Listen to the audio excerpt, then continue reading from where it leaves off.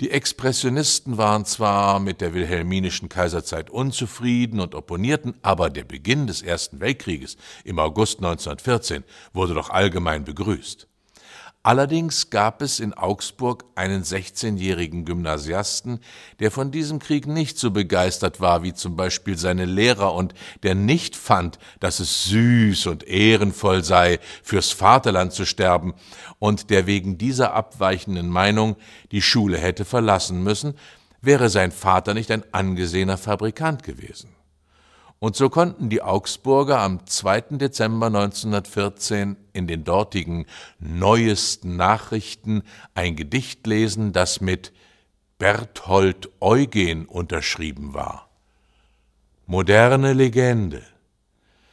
Als der Abend übers Schlachtfeld wehte, waren die Feinde geschlagen. Klingend die Telegraphendrähte haben die Kunde hinausgetragen. Da schwoll am einen Ende der Welt ein Heulen, das am Himmelsgewölbe zerschellt, ein Schrei, der aus rasenden Mündern quoll und wahnsinnstrunken zum Himmel schwoll. Tausend Lippen wurden vom Fluchen blass, tausend Hände ballten sich wild im Hass und am anderen Ende der Welt ein Jauchzen am Himmelsgewölbe zerschellt, ein Jubeln, ein Toben, ein Rasen der Lust, ein freies Aufatmen und Recken der Brust, tausend Lippen wühlten im alten Gebet, tausend Hände falteten fromm sich und steht. In der Nacht noch spät sangen die Telegraphen Drät von den Toten, die auf dem Schlachtfeld geblieben. Siehe, da ward es still bei Freunden und Feinden. Nur die Mütter weinten, hüben und drüben. Hinter diesem Berthold Eugen verbirgt sich natürlich Berthold Brecht.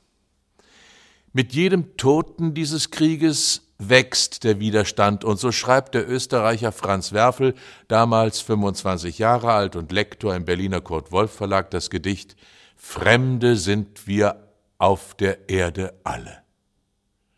Tötet euch mit Gasen und mit Messern, schleudert schreckenhohe Heimatworte.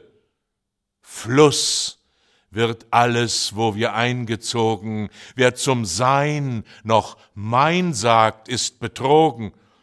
Alle Lande werden zu Gewässern, unterm Fuß zerrinnen euch die Orte, und das Haus ist, dass es uns zerfalle. Fremde sind wir auf der Erde alle. Ivan Goll, nahezu gleich alt mit Werfel, dichtete Deutsch, Englisch und Französisch. Er sagte von sich, durch Schicksal Jude, durch Zufall in Frankreich geboren und durch ein Stempelpapier Deutscher geworden. 1917 schrieb Goll sein Requiem für die Gefallenen in Europa und darin einen Chor der Proletarier. Vergebens in den Kohleschächten wollten die Gleichheit wir erfechten. Vergebens in den Nachtkavernen wollten wir Menschenwürde lernen.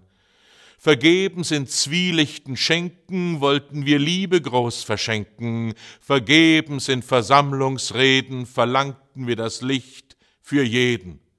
Nun sagen Sie, beim Brudermorden sind wir zu guten Bürgern geworden. Sie gönnen uns den Ruhm der Narren, dieweil Sie Massengräber scharren.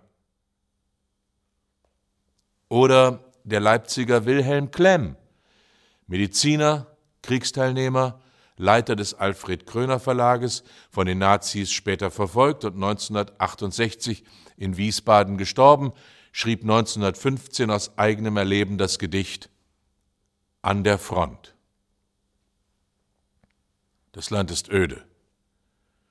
Die Felder sind wie verweint. Auf böser Straße fährt ein grauer Wagen. Von einem Haus ist das Dach herabgerutscht. Tote Pferde verfaulen in Lachen. Die braunen Striche da hinten sind Schützengräben.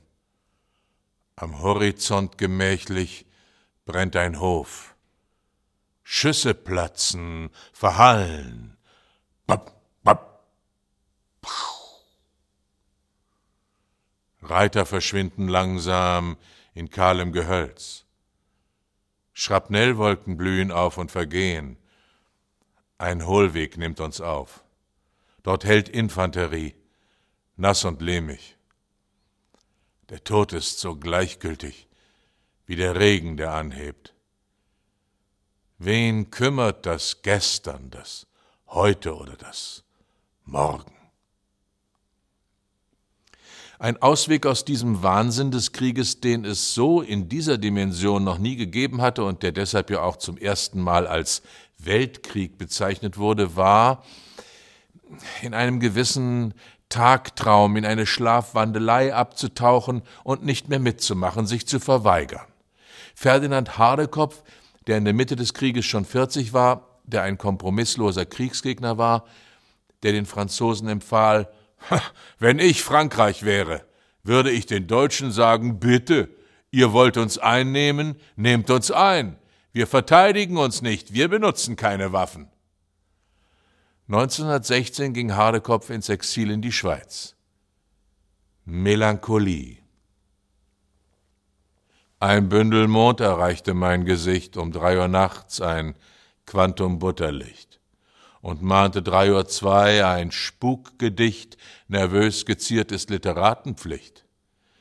Die Kammer dehnte sich verbrecherhell, der Mond ein Dotterball schien kriminell, da stieg die Dame Angst reell auf ihr imaginäres Karussell. Ein Schneiderkleid umpresste mit Tradau die Dame Angst, die Gift- und Gnadenfrau. Doch das Zitronenei um drei Uhr fünf genau versank in Barfauteuils aus Dämmerblau, nachhüstelnd matt dosiert makabre Bar. Ihr lila Blicke schweflich Tulpenhaar, aus Puderkrusten Tollkirsch-Kommentar. Ein Gruß, du noktambules Seminar. Sonntag drei Uhr zehn. Wie süß verwirrt ich war. Dieses Gedicht hatte natürlich auch etwas mit Drogen zu tun, so wie die Flucht aus der Realität mit Drogen zu tun hatte und nicht nur bloßer Tagtraum oder Schlafwandelei war.